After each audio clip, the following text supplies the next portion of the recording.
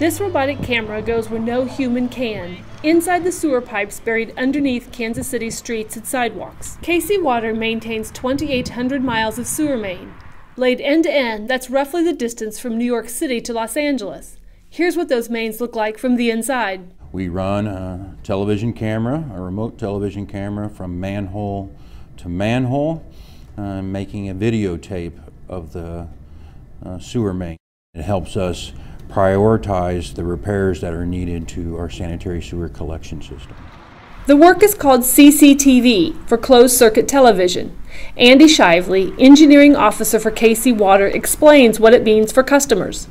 Every time a customer flushes the toilet, we most certainly want everything to go away. So by doing a condition assessment and making the repairs in the appropriate priority, we help ensure that reliability of our to our customers to ensure that uh, the water goes away when you want it to go away.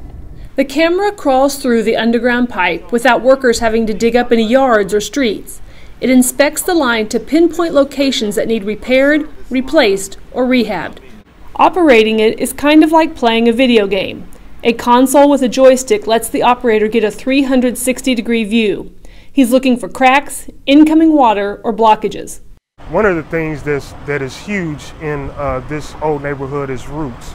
And roots can microscopically infiltrate through joints, through service taps, uh, and that can cause a sewer backup if it engulfs the pipe in its entirety.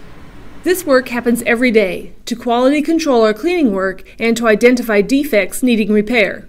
The goal is to televise 305 miles each year. In 2015, KC Water surpassed that goal and televised 442 miles.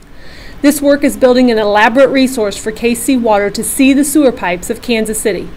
One day we hope to be able to take a virtual tour of the sanitary sewer collection system.